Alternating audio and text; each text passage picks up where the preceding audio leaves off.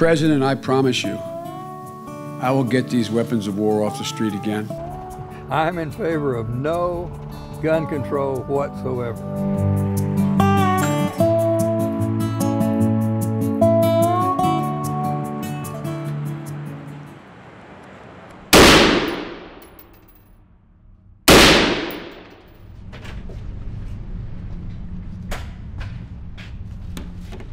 My three favorite guns, uh, personally, and then probably for the whole United States of America, would be a Glock 19, an AR-15 pistol. This one's chambered in 300 blackout, and then a Remington 870 shotgun. We're going to shoot these three. Uh, we'll put a couple rounds through, kind of see how they function a little differently, and go from there. I'm going to shoot the Glock 19 first. It's a 9 millimeter, made in Austria as well as the United States here in Georgia. Um, one of my favorite pistols.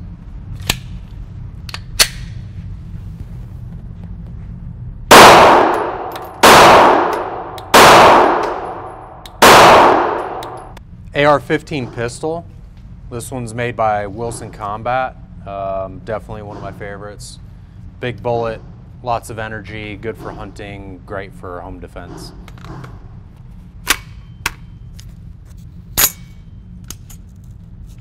Then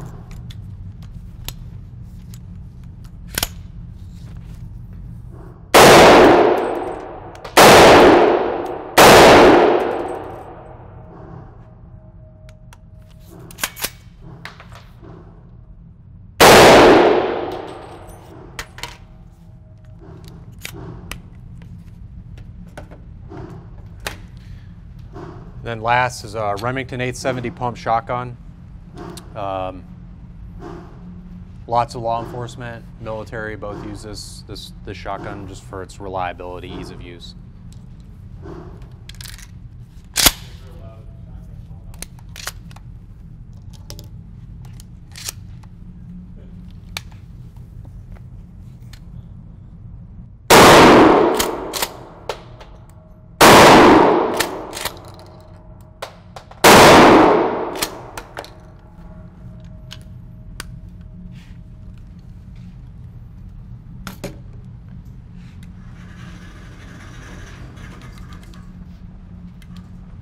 You can see why those are probably pretty effective. You know, you've got the, your shotgun pattern, the 300 blackout pattern from the AR.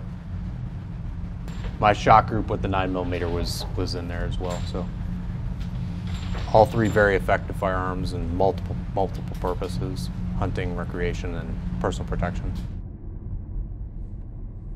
People in Georgia have a very healthy respect for guns. We believe that you should be able to own them. We don't think that you should be forced to own them. But we don't believe that the government should have the right to tell you that you can't own them. We believe that you have the right to defend yourself and protect your life and property at any time you want to or need to. To, to gun owners out there who say, well, a Biden administration means they're going to come for my guns. Bingo. You're right if you have an assault weapon. The fact of the matter is they should be illegal, period. Look, the Second Amendment doesn't say you can't restrict the kinds of weapons people can own. You can't buy a bazooka. You can't have a flamethrower. The guys who make these arguments are the people who say the tree of liberty is watered with the blood of patriots. We need the protection against the government. We need an F 15 for that. We've seen from history what happens when only the government has guns, uh, and it's not good for the citizens. The, the governments have killed more people than any of the citizens could ever do. This one is a, a little five shot revolver. It's a Ruger SP 101. It's a 357 Magnum, which is a fairly powerful handgun. Well, I rarely ever leave the house without my gun, even though I may go somewhere where I can't carry it. I will take it and I'll, I'll lock it in, the, in one of the compartments in the back of my truck. It's just like putting on my pants or my boots or anything else in the morning. It's part of my dress. We encourage our citizens to arm themselves for self preservation. Uh, we can't be everywhere all the time. Uh, so if you're legally able to carry or own a weapon, we encourage you to buy a weapon. We offer gun safety courses here for the general public, And uh, we teach them about the gun laws. We teach them how to handle their weapon, how to clean their weapons. Uh, and we try to be smart about gun ownership. And if you're going to own a weapon, we expect you to be able to use it correctly and safely. This is where we do our Citizens Firearms Fundamentals class. This was in Atlanta. Uh, you see these guys come come in. You see this gentleman has a gun here. Uh, they're they're running through the house looking for something particular. This is not just a crime of opportunity here, but what you'll see here in a minute is they don't realize the homeowners are home. These home invaders uh, were essentially met with resistance from the homeowner, and you see the lady back here starts shooting at them and, and they're running out of the house. So Georgia has a stand your ground law. And what that means is if you are in your house, you don't have a duty to retreat. They can argue they were reasonably in fear of their life. And so the, the use of the firearm here, that use of deadly force, is considered reasonable.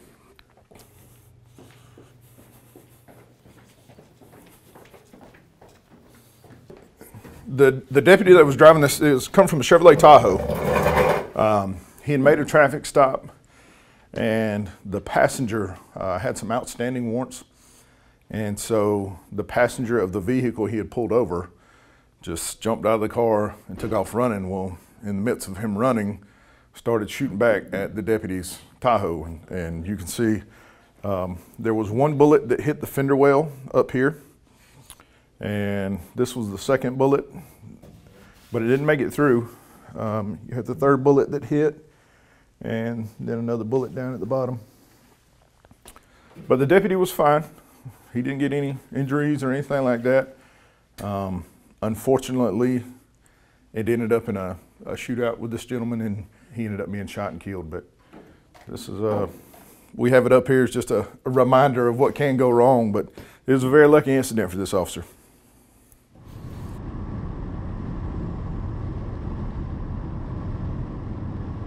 We have people that come to the academy that are avid shooters. They've been shooting their whole life. Shooting is nothing new to them. And we also have people that come to the academy that have never shot a gun before in their life uh, and decided to get into law enforcement for, for whatever reasons. Um, so this is just the standard uh, run-of-the-mill AR-15 platform. Nothing special to it. It's a uh, just a semi-automatic rifle with a 30 round magazine and just a simple red dot sight on it uh, with a flashlight, adjustable stock. Uh, for the most part, this is what all of our guys, just about all of our guys on patrol have. Um, obviously, with a a 223 or a 556 is a much more superior round than the 9 millimeter. But the other benefits to it is there's a lot more stopping power, but we don't have we don't run the risk so much of an over penetration uh, with a 5.56 as we, you would see with a 9 millimeter. So even though it is a, a more powerful, powerful round, it's a safer round. This is going to be your um, standard duty sidearm. Um, we have a mix of Glocks and Smith & Wessons as well, the Smith & Wesson 2.0. Um, for the most part, we all run lights on them just because it frees up one hand. And obviously the red dot sight is something we're integrating into uh, patrol use. Uh, these are Glock 17s, has a, a 9 millimeter with a uh, 17 round magazine. So we'll shoot it as well today.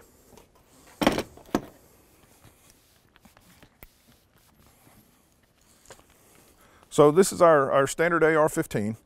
Uh, it's a very accurate weapon. We find also that our deputies shoot it more accurately because when you fire this weapon, there's four points of contact versus two points of contact with a pistol. Uh, you have this hand, obviously this hand, and then you shoulder the weapon, and then you have your cheek on the weapon. So you have one, two, three, four points of contact versus with a pistol, you just have one hand and the other hand, two points contact. So it's, it's easier to acquire the sights and shoot it more accurately. So I'll charge it, check it, make sure it's ready to go, and uh, we'll shoot it.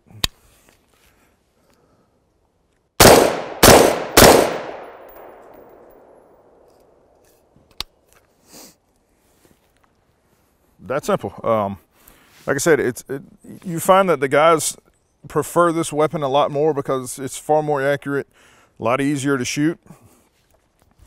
Um, so you can sling it when necessary. Um, if you need both hands available to do whatever it is. Now, as far as our pistols go,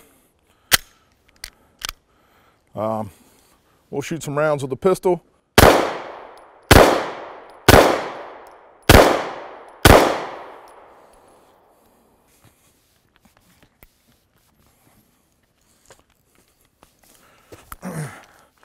Right, so what you'll see here is, is, is we don't have all of our bullets in one hole, but that's okay.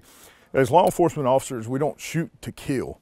Uh, we shoot to stop the threat, and these, all of these rounds here would have stopped whatever threat this is. Uh, sometimes if the end result is maybe someone being killed, then that's just the end result of it, and that is what it took to stop the threat of, of whatever was going on. Um, I shot this from, from 10 yards, and what we find in most officer involved shootings, they occur between seven and five yards and generally at nighttime. And so we train our officers to shoot all the way from 25 yards, but the large majority of our uh, qualification course is done at the seven yard line. Coming from Joe Biden, nothing is going to be well received here, but it still has to be done. Uh, we have a united country in a federal system where but with a patchwork of gun safety laws. And that allows a lot of the crime and a lot of the problems we see. Uh, illinois has very strict gun laws but when you can drive 30 minutes over to indiana and get whatever you want and then come back to illinois those laws aren't effective. We need a federal system. Uh, we have reciprocity with concealed carry in a lot of states, it's time to have that same level of reciprocity as far as safety restrictions and regulations and making sure that these weapons are safe, they're employed safely, and that people who have them are responsible for them. I've beaten the National Rifle Association nationally twice, passed meaningful gun legislation at the federal level, and I'll do it again. But it won't just be because I'll do it. It's because moms against gun violence are now mobilized. Young victims, school children, across the country are mobilized, pricking the conscience of everybody out there who says, My thoughts and prayers are with you. The Democratic Party in the United States, if they don't like something, they think that you shouldn't be able to get it. They don't like guns, so they want to ban guns. Gun control is not about guns, it's about control. The reason for the Second Amendment was to protect the citizens from a tyrannical government. If they get the guns away from the people, then they will have complete control of the public. And that's what it's all about. The Second Amendment, of course, uh, everybody loves quoting the second half of it. Nobody likes remembering the first half, that it's the well regulated militia that's essential to the state. Uh, if you want to join the well regulated militia, I can point you to a recruiter. I will help you. We need people in the Army and the Navy and the Marine Corps and the Air Force uh, to come do things. But that's part of that regulation is what brings us safety.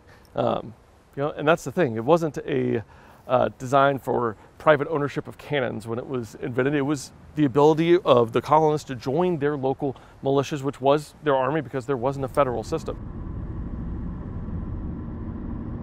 In this country, we do not have a Bill of Needs, we have a Bill of Rights. And I have the right to own whatever I want to own. Uh, it's the same thing to me as uh, you can buy a car that can do 180 miles an hour, but we don't have a highway in this country that you can legally drive 180 miles an hour. So why would you want one? Well, because it's my right to own one if I want to. The sanctuary counties just uh, really affect that particular county, and what they've said is that that they're not going to enforce any gun control laws, anything that they feel is an infringement on our constitutional rights uh, they're not going to enforce it. You know, the sheriff of, of any county in Georgia, and, and actually anywhere in the United States, is the highest elected official in that county. He doesn't have to enforce any law that he doesn't want to enforce. And that's what will happen in, in most of those counties anyway, is the sheriff's just not going to enforce it. Uh, the sheriff is a constitutional office. So one of the duties that we're required to enforce is protect the Constitution of the United States. So if any law is enacted that's contrary to the Constitution of the United States, which the Second Amendment is part of the Constitution, we can fight against any violations of the Constitution, and we will stop federal agents from coming in to our county enforcing laws that are unconstitutional. It's a duty by the Constitution for us to uphold the Constitution of the United States. So we will fight against any opposition to the Constitution.